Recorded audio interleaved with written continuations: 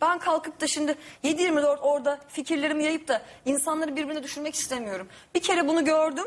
Yani ve gerçekten ben insanlığımdan utandım. Ya resmen sosyal medya insanların birbirine hakaret etme yeri olmuş. Aynen öyle. Yani neden? Aynen maalesef. Biz insanız ve Maalesef. biz e, hepimiz Allah'ın yarattığı kuluz. Kimsenin kimseyi hor görmeye, ezmeye, hakaret etmeye veya Aynen. saygısızlık yapmaya hakkı yok. Aynen.